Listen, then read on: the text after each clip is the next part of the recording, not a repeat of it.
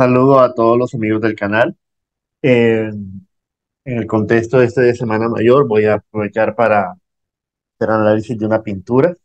En esta ocasión el espolio, la pintura del Greco, pintada entre 1577 y 1579. Vamos entonces a avanzar primero sobre el contexto histórico de la pintura. Eh, luego vamos a ver este, el simbolismo de la misma nos centraremos en la figura de Jesús, luego en otros personajes y al final unas conclusiones.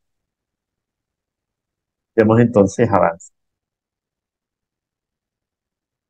En el contexto de la obra, nosotros podemos señalar como, como tres aspectos importantes. Esta pintura se realiza en el contexto de la Contrarreforma, es decir, Martín Lutero había generado la Reforma Protestante uno de los aspectos centrales de la reforma protestante es este, el señalamiento que hace, que hace Lutero con referencia a la, al uso de las imágenes religiosas en las iglesias. Eh, Lutero en un principio no estaba en desacuerdo de la presencia de las imágenes, sino en el uso de esas, en tanto consideraba de que eh, se estaba adorando ídolos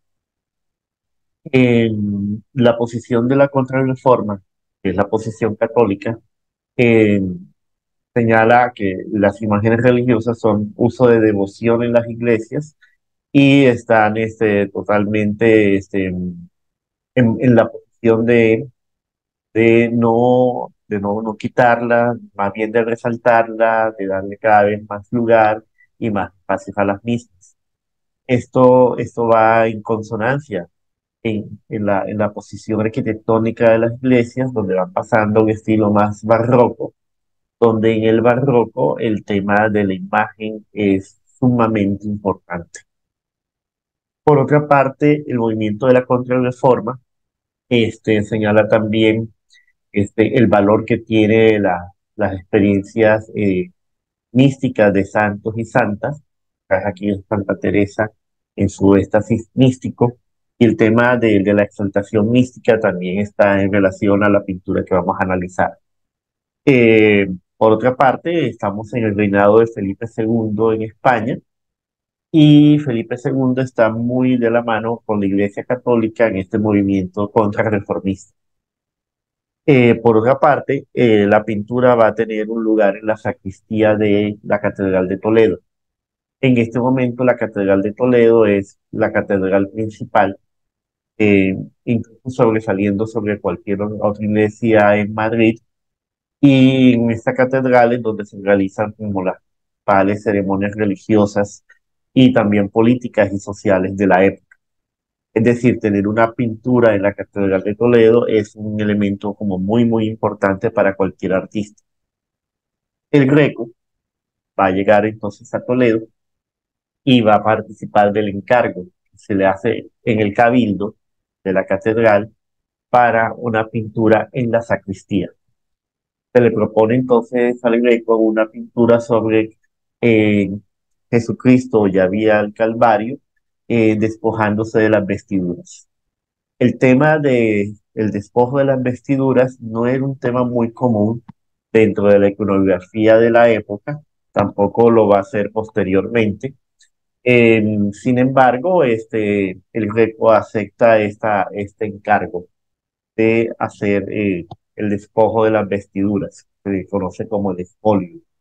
Y está muy en consonancia con la sacristía, porque la sacristía es el lugar donde los sacerdotes o los cardenales se quitan los, los vestidos para colocarse los vestidos más ceremoniales. Aquí entonces tenemos una imagen de dónde está ubicada la pintura en la sacristía de la Catedral de Toledo, una pintura de, grandes dimensiones y está empotrada en, esta sacristía. Aquí tenemos como un primer plano de la pintura. En, entonces vamos a ir como ubicando unos personajes. En la parte central se encuentra Jesucristo.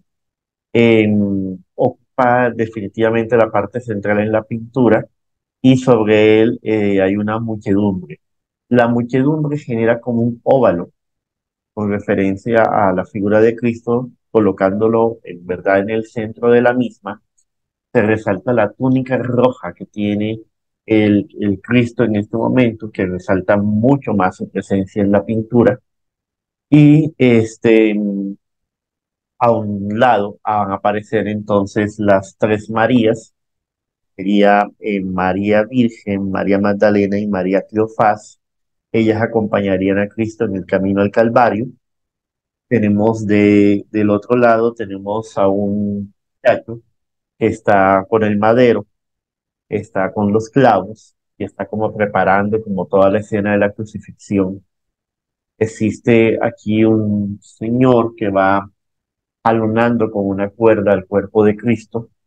Tenemos la, la presencia de un soldado con un vestido de la época del Greco, no de la época de Jesús. Y tenemos la muchedumbre en la parte de atrás. Eh, lo primero que podríamos señalar aquí ya en este aspecto es que eh, Jesús aparece no como el Jesús en la divinidad, sino un Jesús muy del lado del humano, Jesús como hecho hombre. Jesús está eh, ajeno a la multitud. Se dan cuenta, toda esa multitud está como agolpada, pero Jesús parece que estuviese fuera de la escena. ¿Y hacia dónde está Él? Él está mirando hacia el cielo. La iluminación de la pintura viene de arriba hacia abajo. Él está mirando hacia el cielo, esa luz que viene del cielo. Él es el único que mira la luz, solamente Jesús está como dirigiendo su mirada hacia arriba.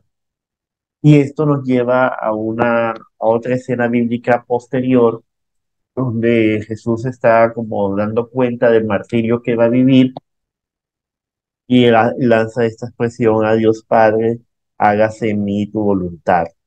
Y eh, la posición de, de una de las manos de Jesús este, está señalando como ese aspecto, hágase en mí su voluntad, en la, el brazo que está amarrado sobre la cuerda, mientras la otra mano tiene una posición un poco más tranquila.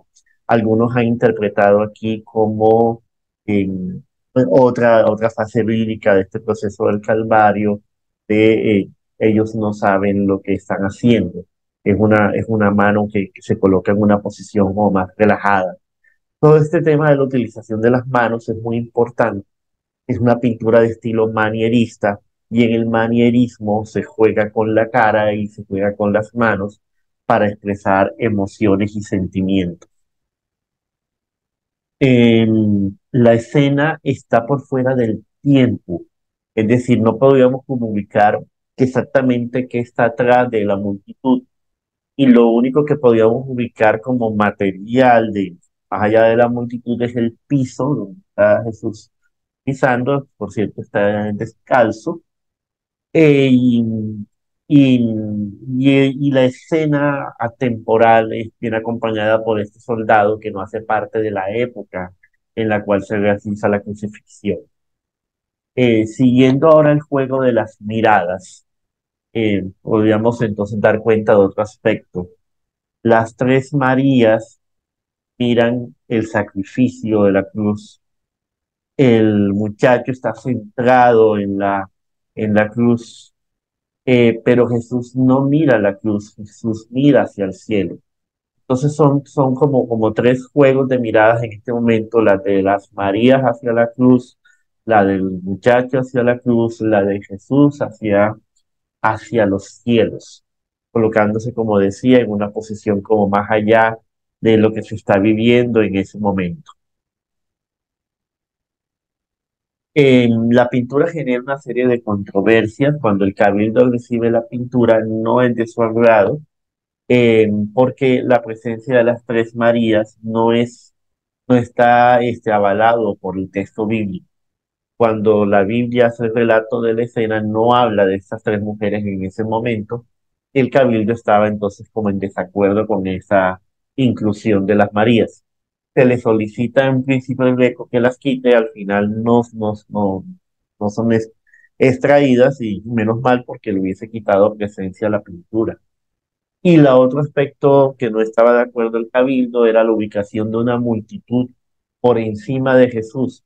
Se decía entonces que esto le quitaba como presencia. a, este, a, a la figura de Jesús y que podría ser irrespetuoso. Estamos en un contexto donde hay mucha, hay, hay mu- mucho sentir sobre lo que es correcto, incorrecto, eh, con referencia a la presencia de la divinidad, la presencia de Jesús. Entonces es un tema que puede generar como mucha controversia, al menos en ese momento porque anteriormente ya habían existido muchas pinturas donde Jesús estaba en medio de una multitud y no se habían hecho como este tipo de señalamientos tan claros. Vamos entonces ahora a ver significados y simbolismos.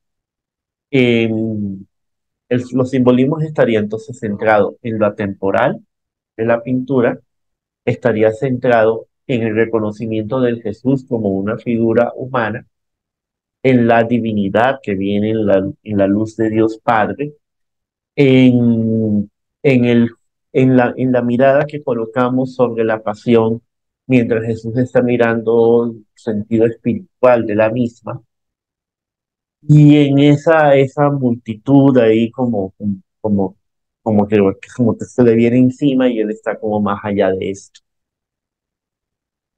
Vamos a ubicar ahora algunos personajes en la pintura. Y podríamos entonces señalar que entre, entre Jesús están el buen y el mal ladrón, los cuales lo van a acompañar durante el proceso de la crucifixión. El buen ladrón, este, ya en la crucifixión le, le, dice a Jesús, este, lo, lo, lo, lo señala en una forma de veneración y Jesús le dice, te digo que estarás conmigo en el cielo, mientras el ladrón, el mal ladrón lo señala y este, él queda entonces como por fuera de la escena. El soldado como una figura atemporal eh, nos muestra la temporalidad de la pintura. Y en medio de la multitud hay un hombre que nos está señalando a nosotros que estamos viendo la pintura, es como señalándonos, juzgándonos como que nosotros también hacemos parte por nuestros pecados, menos en el sentido católico, de la crucifixión de Cristo. Bueno, espero de que les haya parecido interesante esta, este análisis